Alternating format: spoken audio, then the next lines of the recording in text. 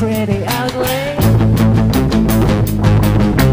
Kick you, squeal and you shit off me.